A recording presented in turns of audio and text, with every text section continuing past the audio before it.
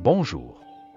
Dans cette vidéo, on va parler d'une autre espèce de lara, Ara hyacinthe ou Ara hyacinthine.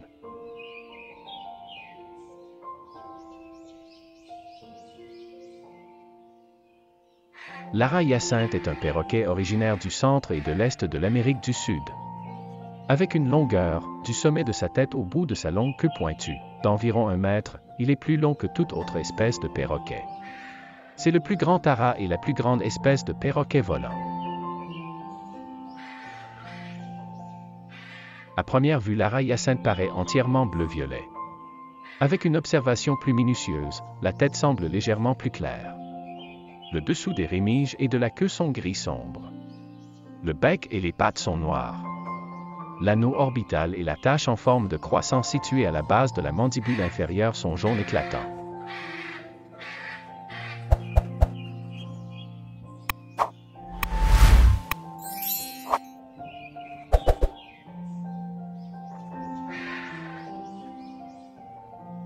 L'ara hyacinthe, c'est le plus grand perroquet du monde en longueur.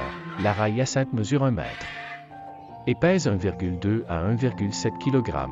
Chaque aile mesure 38,8 à 42,5 cm de longueur. La queue est longue et pointue. Ses plumes sont entièrement bleues, plus claires dessus. Cependant, les plumes du cou peuvent parfois être légèrement grises. L'anneau autour des yeux des perroquets et la zone juste sous le bec sont d'un jaune vif et vif.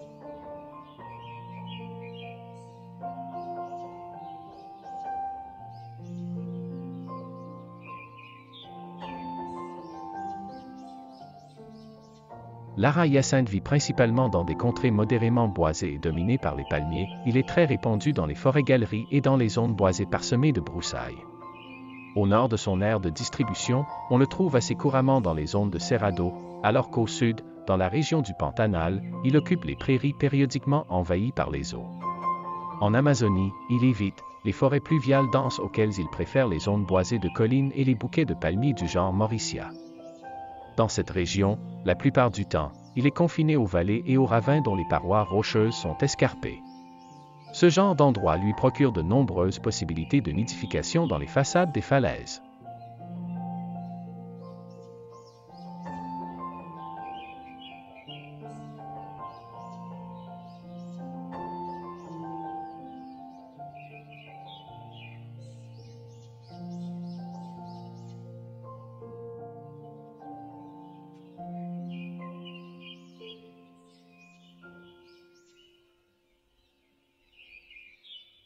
L'ara hyacinthe est brillant et très facilement observable.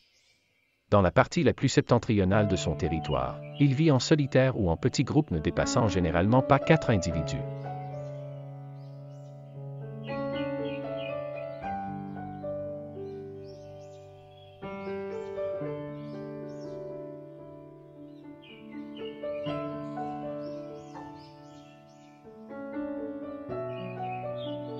Dans les autres régions, il vit en bandes de 12 et même de 20 oiseaux au sein desquels les couples ou les trios sont parfaitement repérables. Pendant la saison de nidification, les rassemblements se dispersent et la hyacinthe adopte alors un mode de vie solitaire ou en couple.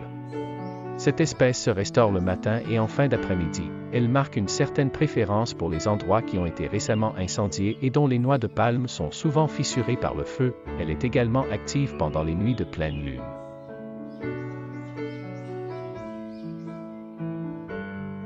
Pendant les moments les plus caniculaires de la journée, la hyacinthe se repose calmement ou en lançant quelques cris rauques dans la canopée des grands arbres. Les oiseaux qui sont appariés se tiennent toujours à faible distance l'un de l'autre. S'ils sont dérangés, ils quittent la canopée et tournoient dans les airs en poussant de puissants cris.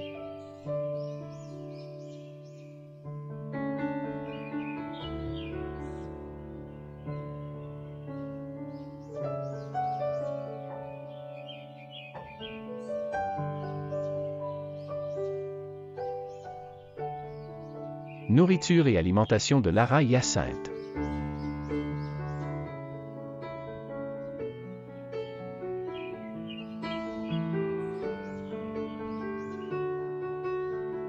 La majorité du régime alimentaire de l'ara hyacinthe est composé de noix d'espèces de palmiers spécifiques, tels que les palmiers acuri et bocayuva.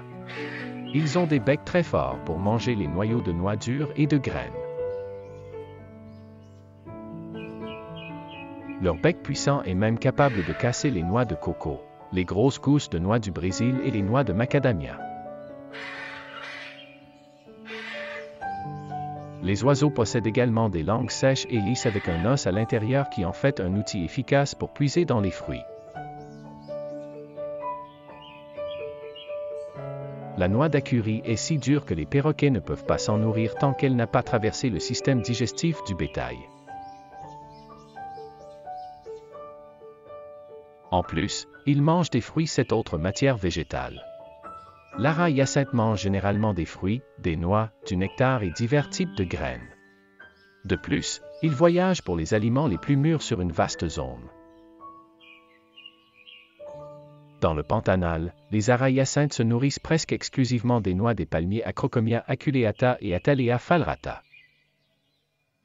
Ils volent par paires et se nourrissent des noix dures de plusieurs palmiers, mais surtout du mucuja.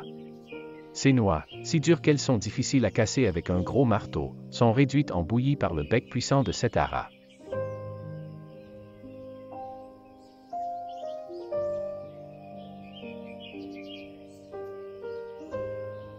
En captivité, les noix de palme originaires de l'habitat naturel de la hyacinthe ne sont souvent pas facilement disponibles. Dans ces circonstances, la noix de macadamia, originaire d'Australie, est une alternative appropriée, nutritive et facilement acceptée. Par coïncidence, la hyacinthe est l'un des seuls oiseaux avec la force de mâchoire nécessaire pour ouvrir les.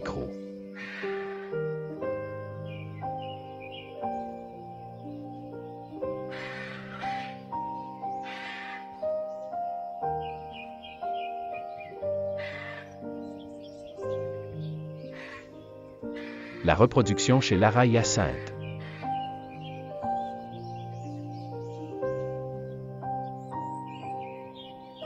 La nidification a lieu entre juillet et décembre, avec des nids construits dans des cavités d'arbres ou des falaises selon l'habitat. Dans la région du Pantanal, 90% des nids sont construits dans l'arbre Manduvie.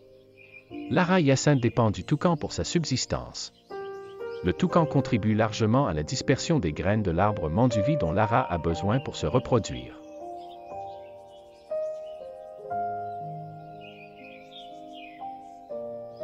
Cependant, le toucan est responsable de la dispersion de 83% des graines de Sterculia apetala, mais consomme également 53% des œufs de proie.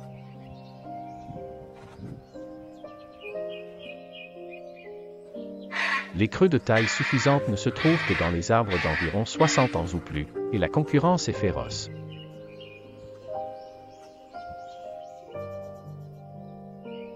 Les trous existants sont agrandis puis partiellement remplis de copeaux de bois.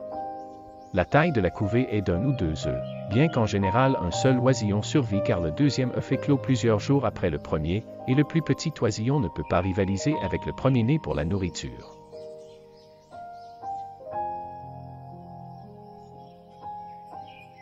Une explication possible de ce comportement est ce qu'on appelle l'hypothèse d'assurance. Lara pond plus d'œufs qu'il ne peut normalement s'envoler pour compenser les œufs antérieurs qui n'ont pas éclos ou les poussins premiers-nés qui n'ont pas survécu. La période d'incubation dure environ un mois et le mâle s'occupe de sa compagne pendant qu'elle incube les œufs.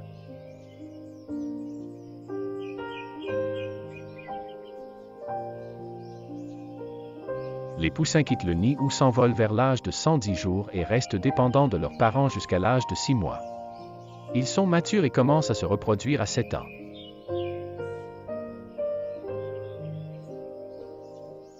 Les arayacintes sont les psittacidés les plus longs. Ils sont également très d'humeur égale et peuvent être plus calmes que les autres aras, étant connus sous le nom de gentils géants.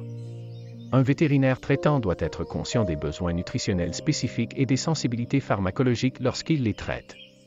Peut-être en raison de facteurs génétiques ou de limitations d'élevage en captivité, cette espèce peut devenir névrosée, phobique, ce qui est problématique.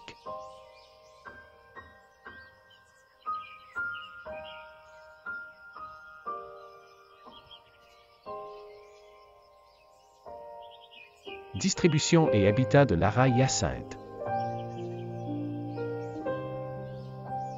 Lara Hyacinthe est présent aujourd'hui dans trois régions principales d'Amérique du Sud, dans la région du Pantanal au Brésil, et dans l'est adjacent de la Bolivie et le nord-est du Paraguay, dans les régions du Cerrado de l'intérieur oriental du Brésil, et dans les zones relativement ouvertes associées à la rivière.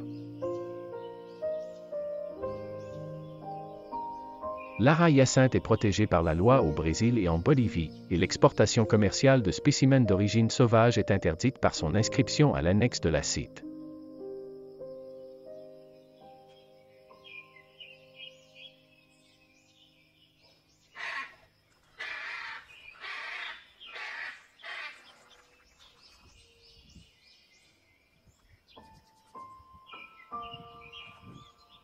Lara hyacinthe est parfois gardée comme perroquet de compagnie.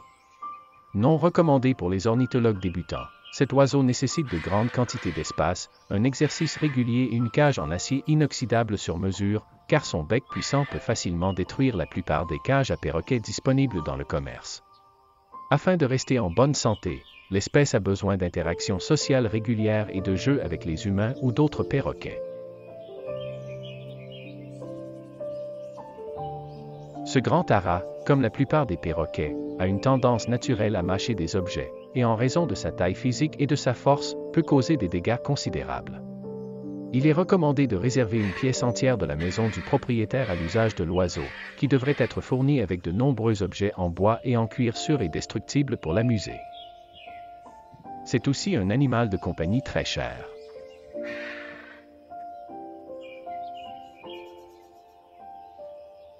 Lara hyacinthe peut apprendre à parler, mais il n'est pas aussi doué dans ce domaine que certaines autres espèces. Néanmoins, c'est un oiseau intelligent qui peut apprendre à utiliser des mots et des phrases dans le bon contexte. Il peut vivre plus de 50 ans en captivité.